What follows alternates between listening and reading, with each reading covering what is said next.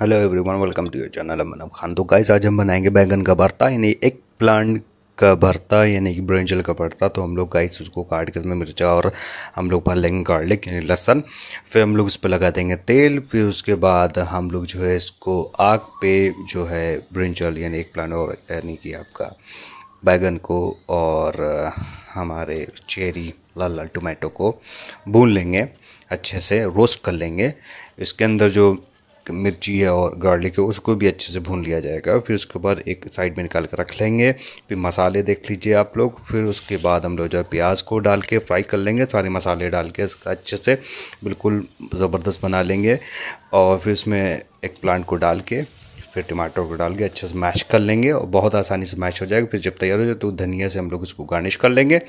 और फिर सर्व करेंगे अपनी माँ को, और जो कि बहुत अच्छे से बताएँगे रिएक्शन से पता चल जाए। कितना मज़े का बना लाइक शेयर सब्सक्राइब